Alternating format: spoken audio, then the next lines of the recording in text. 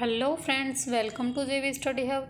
तो फ्रेंड्स, आज की जो वीडियो होने वाली है, हमारी वो है to the cuckoo by William Wordsworth. And friends, ये वीडियो हमारी UGC NET UP PGT UP TGT KVS NVS के एग्ज़ाम्स में काम आने वाली है। तो फ्रेंड्स, अगर आप हमारे चैनल जे जेवी स्टडी हब पर नहीं हैं तो चैनल को सब्सक्राइब कर लीजिए। और इसके पास में जो बेल आइकन है, फ्रेंड्स, इसे प्रेस करना बिल्कुल भी ना भूलें, जिससे कि नई नई वीडियोस की नोटिफिकेशन आपको पहले ही मिल सकें। थैंक यू तो फ्रेंड्स स्टार्ट करते हैं आज की वीडियो तो पहले बात करेंगे फ्रेंड्स हम समरी के बारे में। क्या समरी है, क्या है ना? To the cuckoo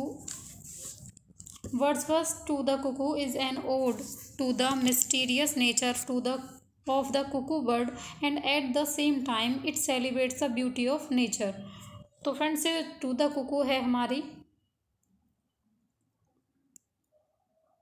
ये क्या है? एक ओड है टू द मिस्टीरियस नेचर है ना? नेचर मिस्टीरियस मतलब कि तुम्हारा रहस्यमय नेचर नेचर के बारे में है and the of the cuckoo bird जो कुकू वर्ड है, कोयल है, उसका जो मिस्टीरियस नेचर है, उसके बारे में बात होगी friends and at the same time it celebrates the beauty of nature और फ्रेंड्स साथ ही साथ ये नेचर की बात करती है नेचर की सुंदरता की, जो हमारी प्रकृति है, उसकी सुंदरता की बात हुई है इसमें। Wordsworth lives up to his reputation of being a romantic poet at, he refers to the days of a childhood as golden and visionary. तो friends, it celebrates the beauty of nature. Wordsworth lives up to his reputation of being a romantic poet. तो friends Wordsworth ji जो हैं, वो अपने romantic होने की प्रतिष्ठा पर खरे उतरे हैं क्योंकि वह अपने बचपन के सुनहरे दिनों एंड गोल्डन मतलब सुनहरे दिन जो अच्छे दिन थे और विजनरी जिसमें वो विज़न करते थे मतलब इमेजिनेशन करते थे, उनको क्या करते हैं? याद करते हैं, है ना? Next William Wordsworth discovers in nature as an uncommon power which can not only satisfy human beings but also can transform his earth into a homeland for fairies and other supernatural agents. It is proved in this poem, to the cuckoo. तो friends, क्या करते हैं यहाँ पे Wordsworth ji? Wordsworth discovers in nature an uncommon power Wordsworth ji nature में एक uncommon power को, एक ऐसी असामान्य शक्ति को सर्च कर रहे हैं, किसकी खोज में है, जो एक स्पेशल स्पेशल पावर है which can not only satisfy human beings जो कि सिर्फ़ मनुष्य जाति को ही सेटिस्फाई नहीं करेगी, बल्कि but can transform this earth into a homeland और इस पृथ्वी को, इस पृथ्वी को क्या कर देगी? एक होमलैंड मातृभूमि में बदल देगी। कैसी मातृभूमि में? For fairies and other super elements. है ना? कैसी मातृभूमि बना देगी? कैस, कैसी जगह बना देगी? एक ऐसी मातृभूमि बना देगी जहाँ पे परियों की और अदर सुपर एजेंट्स की कहानियाँ होंगी। है ना? ऐसी ऐसी एक इमेजिनेशन वो करते हैं। वर्ड्सवर्थ जी, इस पोएम में। It is proved in this poem to the cuckoo और यह उन्होंने क्या कर दिया है? प्रूव भी कर दिया है। इस पोएम में, कौन सी में? टू द कुकू में उन्होंने ये प्रूव किया है। Now the poet was wandering in the valley घाटी में घूम रहे थे। He heard the sweet voice of a cuckoo और उन्होंने एक वॉइस सुनी किसकी? कुकू की, कोयल की। ही फेल्ट डिलाइटेड और वो बहुत ज़्यादा खुश हो जाते हैं। इट वॉज़ स्प्रिंग सीज़न और किस सीज़न की बात हो रही वसंत ऋतु थी। The valley was full of beautiful flowers और वैली जो है, जो घाटी है, वो बहुत सुंदर सुंदर फूलों से भरी हुई थी। Clear sunshine made the atmosphere in the valley serene and enjoyable तो फ्रेंड्स जो धूप थी, एकदम साफ़ धूप थी मेड द एटमोसफेयर और वो क्या करती है? धूप से क्या हुआ था? जो घाटी है वो सीरीन मतलब शांत एंड एन्जॉयबल आनंद, आनंदित और शांत कर देती है धूप जो है घाटी को। The poet in this is has in his extreme gladness address the cuckoo as blithe newcomer the cuckoo appears first when spring comes to the earth it sings happily okay तो फ्रेंड्स जो poet हैं वो क्या करते हैं? The poet in his extreme gladness. बहुत ज़्यादा खुश हैं, है ना?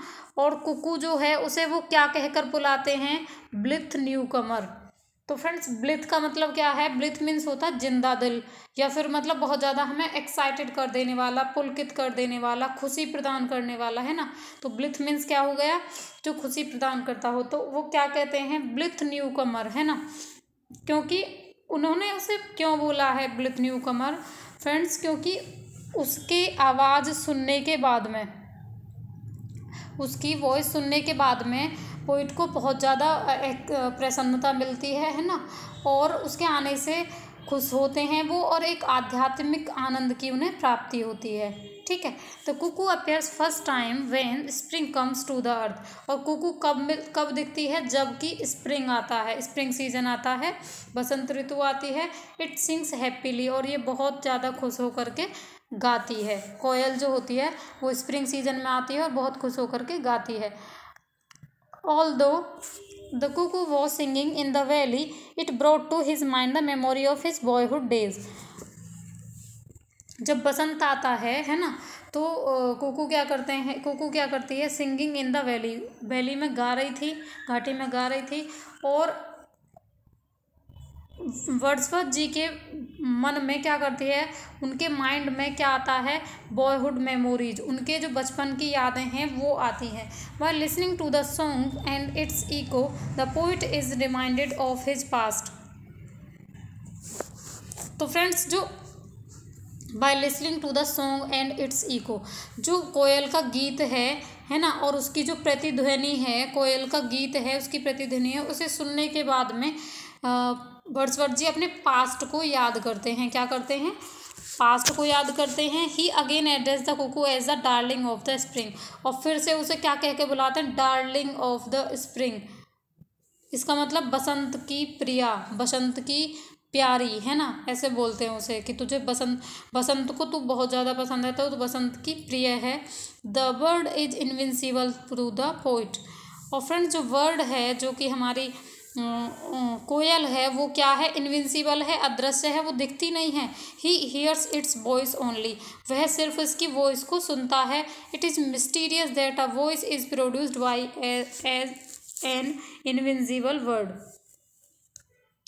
तो फ्रेंड्स, ये ये क्या है? सिर्फ़ उसकी वॉइस को सुनते हैं और यही क्या है? यहाँ पे मिस्टीरि मिस्टीरियस है फैक्ट कि जो वॉइस उसके द्वारा उत्पन्न की जाती है, वो क्या है? वो एक अनविंस इनविंसिबल वर्ड है। देखो, कभी ने यहाँ पे कुकू को अपनी आँखों से नहीं देखा है, वो सिर्फ़ उसकी आवाज़ सुनते हैं और उसी पे एक उन्होंने टू द कुकू पोएम लिख दी है, ठीक है? फिर बात आती है the poet does not give up hope to see the bird he draw immense pleasure from the voice of the cuckoo the memory of his boyhood experience also bring pleasure to him friends ये top by mistake हो गया to है only यहाँ पे ना to him the voice of the cuckoo is the medium through which he goes back to his past and derives pleasure for him his boyhood is the golden time The poet does not give up hope to see the bird तो poem poet जो है, वो उम्मीद नहीं छोड़ते हैं किस चीज़ की? पक्षी को देखने की। उन्हें उम्मीद है कि वो एक ना एक दिन कोयल को ज़रूर देखेंगे। He draws immense pleasure from the voice of the cuckoo तो फ्रेंड्स उन्हें जो है कुकू की वॉइस से क्या होता है? इमेंस प्लेजर अत्यधिक आनंद की प्राप्ति होती है। अपार आनंद मिलता है है ना? The memory of his boyhood experience also bring pleasure to him और उससे क्या होता है? उसकी आवाज़ सुनने के बाद उन्हें बचपन की यादें जो हैं, वो फिर से उसके लिए क्या लेके आती हैं? खुशियाँ लेकर के आती हैं, उसे आनंदित करती हैं उसके बचपन की यादें। The voice of the cuckoo is the medium through which he goes back to his past और फ्रेंड्स एंड ड्राइव्स प्लेजर कोयल की आवाज़ वह माध्यम है जिससे वह अतीत में जाता है और आनंदित होता है। है ना? पुरानी चीज़ों को याद करते हैं वर्ड्सवर्थ जी और फिर से क्या होते हैं? बहुत ज़्यादा खुशी होती है उन्हें चीज़ों को याद कर करके है ना? For him his boyhood is the golden time और उसके लिए जो हमारा आ, हमारे पोइट हैं वर्ड्सवर्थ जी हैं उनके लिए क्या उनका बचपन जो है वो क्या है? गोल्डन टाइम है। उन्होंने उसे अपना गोल्डन टाइम सुनहरा समय माना है। ठीक है? तो फ्रेंड्स, ये थी हमारी समरी। ठीक है? अब हम इसके जो इम्पोर्टेंट फैक्ट्स हैं, उसकी बात कर लेते हैं। कब पोएम लिखी गई है, कब पब्लिश हुई है क्या क्या चीज़ें थी, है ना? ये हो गई यहाँ से थीम अब आगे चलते हैं। क्वेश्चंस करते हैं। क्वेश्चंस के थ्रू हम करेंगे। तो friends question number one is how many lines are there in this poem तो पोएम में कितनी लाइन्स हैं, ये पूछा गया है friends. Thirty lines thirty two lines twenty four lines और फोर्टीन लाइन्स तो फ्रेंड्स, यहाँ पर कितनी लाइन्स हैं हमारी? इस पोएम में हमारी थर्टी टू लाइन्स हैं। ओके तो ऑप्शन नंबर वी यहाँ पे करेक्ट हो जाएगा। Now come to the next question how many stanzas are there in this poem तो फ्रेंड्स स्टेंजा कितने हैं? तो फ्रेंड्स यहाँ पे स्टेंजा हैं एट कितने स्टेंजा हैं? एट स्टेंजा हैं। तो एट स्टेंजा हैं और थर्टी टू लाइन्स हैं। एट स्टेंजा हैं फ्रेंड्स और थर्टी टू लाइन्स हैं हमारी। तो फ्रेंड्स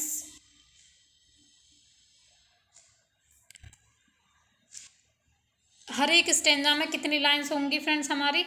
फोर लाइंस होंगी, है ना? क्योंकि यहाँ पे एट स्टेंजाज हैं फ्रेंड्स। और फोर लाइंस हैं हर एक स्टेंजा में। तो कितनी हो गई? बत्तीस लाइन हो जाएँगी, है ना? थर्टी टू लाइन्स टोटल हो जाएँगी। तो फ्रेंड्स आगे चलते हैं। What does golden time refer to golden time जो है वो किसको रेफर किया है? वर्ड्सवर्थ जी ने यहाँ पे। Poet's childhood days poet's adolescence poet's old age none of these तो फ्रेंड्स पोइट्स के चाइल्डहुड डेज़ को पोइट्स का जो चाइल्डहुड है, बचपन है, उसे याद करते हैं ना? Now come to the next question themes of the poem to the cuckoo is theme क्या है friends melody joy and happy memories romance और सेपरेशन तो फ्रेंड्स इसका जो करेक्ट आंसर होगा वो क्या होगा? जॉय एंड हैप्पी मेमोरीज उन्हें खुशी भी मिल रही है और वो पुरानी यादों को मतलब पुरानी चीज़ों को याद कर रहे हैं और उससे भी आनंदित हो रहे हैं। Now come to the next question O blithe O blithe newcomer I have heard I have thee and rejoice lines are from to the cuckoo friends ये कौन सी लाइन्स हैं? Ending lines, opening lines, sixth line of the poem, eighth line of the poem.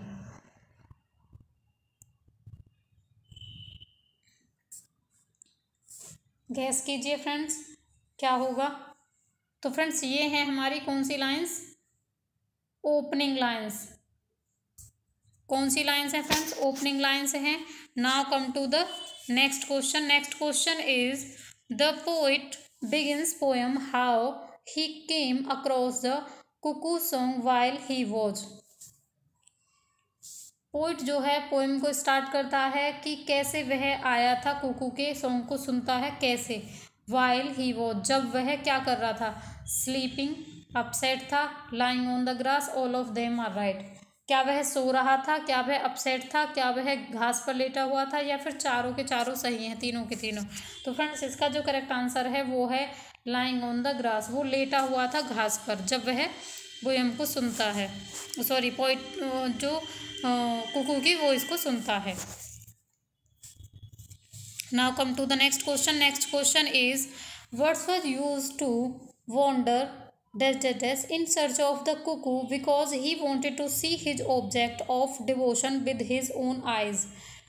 तो friends Wordsworth used to wander aimlessly with him in a group with her wife. Sense लगाइए friends, क्या हो सकता है? अपनी wife के साथ घूम रहे थे? नो। ग्रुप में भी नहीं थे? नहीं थे, क्योंकि वो तो घास पे लेटे हुए थे, अभी बात हुई थी। तो एम से घूम रहे थे? नो फ्रेंड्स, इसका जो करेक्ट आंसर है वो क्या हो जाएगा हमारा? Wordsworth used to wander aimlessly. Aimlessly. तो friends, option number A is correct here. Now come to the next question. Next question is genre of the poem to the cuckoo is. तो friend, genre क्या है? Comedy है ये, tragedy है, या lyrical pastoral poem है, या फिर none of these?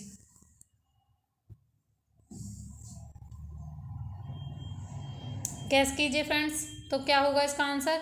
A lyrical pastoral poem ठीक है now come to the next question next question is the poet calls cuckoo dash dash dash because he had not seen in the bird but only heard its voice through trees grass and buds he calls the cuckoo darling of the spring because its voice can be heard only in the season of spring poet जो है कुकू को क्या कह करके बुलाता है, क्या बोलता है? Wandering voice flight voice joyous voice और मेलनकलिक वॉइस तो फ्रेंड्स, यहाँ पे वो क्या कहते हैं? क्योंकि because he had not seen the bird सिर्फ़ इसकी आवाज़ सुनी है है ना? और उसने उस पोएम को सॉरी उस कुकू को, इस वर्ड को देखा नहीं है। तो फ्रेंड्स, ये कहते हैं इसे the poet calls cuckoo wandering voice wandering voice मतलब चलती फिरती आवाज़, घूमती हुई आवाज़। Now come to the next question next question is in the stanza dash dash dash the poet shares his school days experience he used to listen to the voice when he looked way in bush tree and sky तो friends यहाँ पे ये पूछा गया है कि किस stanza में पोइट अपने स्कूल डेज़ के एक्सपीरियंस को शेयर करते हैं? He used to listen the voice when he looked west to in bush tree and the sky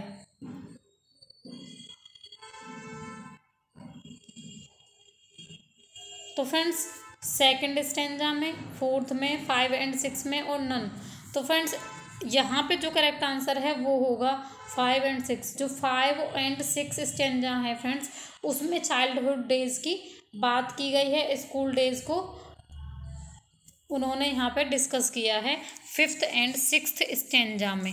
Now come to the next question next question is what does golden time refer to जो golden time है, उसे वो refer किसके लिए किया है friends golden time किसे बोला है इस पोयम में? The poet's school time when he used to listen to the voice which he looked way in the bush trees and in the sky when he was in his adolescence all are correct तो friends golden time वो school time को भी कहता है। और जब वह school जाया करता था और आवाज़ सुना करता था, कहाँ पे झाड़ियों में, पेड़ों में और आसमान में वेन ही वॉज़ इन एडलसेंस वह अपने बचपन में था किशोर अवस्था में था ऑल आर करेक्ट वो अपनी यादों, पुराने अतीत की यादों की तो बात करता है गोल्डन टाइम तो जब वो स्कूल जाता था, या फिर जब वो रास्ते में उनकी आवाज़ सुनता था, या फिर वो जब अपनी एडलसेंस में था। तो all are correct here the next question is the rhyming scheme of the poem is A B A B A A B B A B B A A B C A तो friends पूछा गया है कि rhyming scheme क्या है?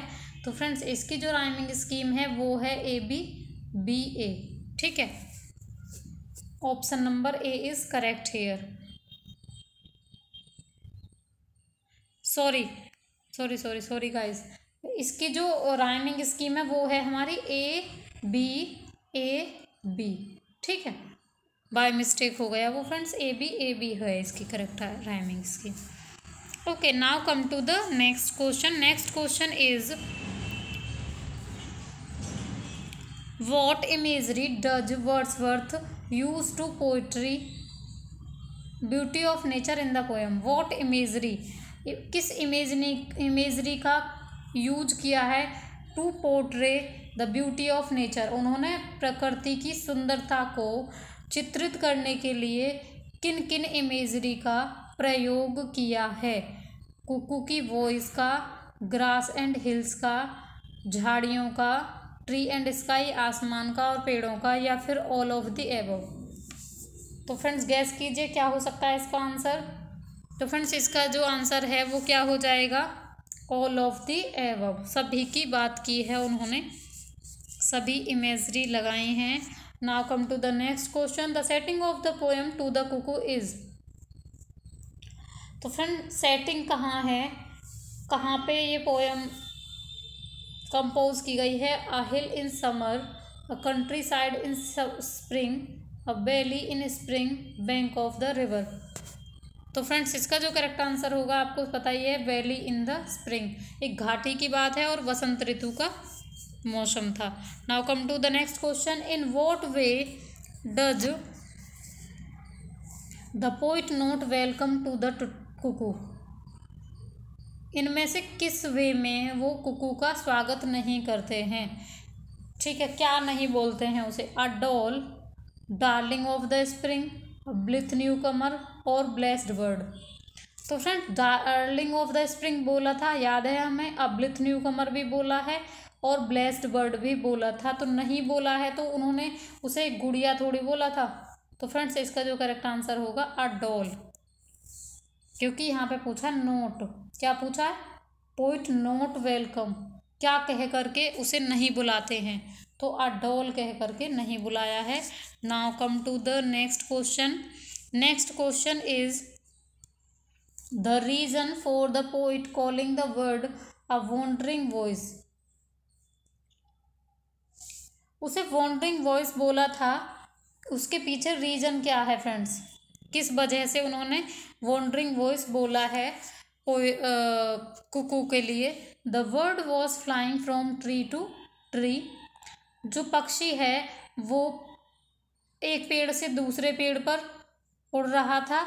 Its voice get lost in in the hills उसकी जो voice है वो हिल्स uh, में क्या हो जाती है? गुम हो जाती है।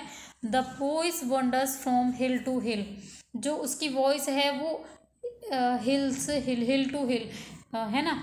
कि एक एक जो पहाड़ी है, उस दूसरी पहाड़ी पर जाती है, एक पहाड़ी से दूसरी पहाड़ी पर उसकी वॉइस जो है वो घूमती रहती है wanders now the poet could not catch the bird क्योंकि वह पक्षी को पकड़ नहीं सकता है. Could not catch the bird तो फ्रेंड्स गैस कीजिए क्या होगा? उसे वॉन्डरिंग क्यों बोला है? ये पूछा गया वॉन्डरिंग वॉइस क्यों बोला है? Because the voice wanders from hill to hill जो उसकी आवाज़ है, वो एक पहाड़ी से दूसरी पहाड़ी में गूंजती रहती है। इस वजह से वॉन्डरिंग बोला है, रुकती नहीं है। कभी उसे उधर से आवाज़ सुनाई देती है, उसकी कभी इधर से आवाज़ सुनाई देती है। Now come to the next question and next question is which word meaning is talking continuously इनमें से किस शब्द का मतलब लगातार बोलते रहना है? Beget babbling blithe all are right तो फ्रेंड्स इसका जो करेक्ट आंसर होगा वो है बेबलिंग बेबलिंग मीन्स भी क्या होता है? बक बक करना, लगातार बोलते रहना, है ना? Next question is which word tells that the bird is happy and carefree किस, कौन सा शब्द है इनमें से जो बताता है कि वर्ड जो है, पक्षी जो है, वो हैप्पी है और केयर फ्री है? रो रोव फियरी ब्लिथ और विगेट। तो फ्रेंड्स, इसका जो करेक्ट आंसर हो जाएगा वो है ब्लिथ। ठीक है? ब्लिथ। क्योंकि फ्रेंड्स, इसमें जो बात हुई थी कि ज़िंदा दिल है वो बहुत ज़्यादा मतलब कि अट्रैक्ट करता है पक्षी, है ना? तो ब्लिथ न्यू कमर बोला था ना वर्षपत जी ने उसे स्टार्टिंग में। Now come to the next question next question is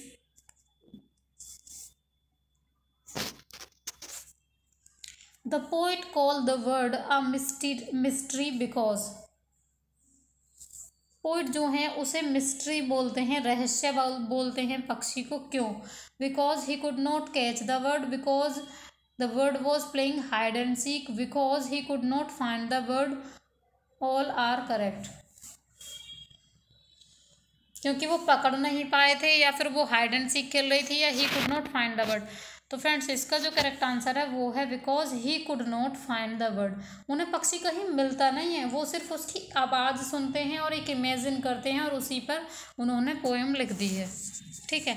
Now come to the next question next question is how does the earth appear to the poet after hearing the cuckoo's voice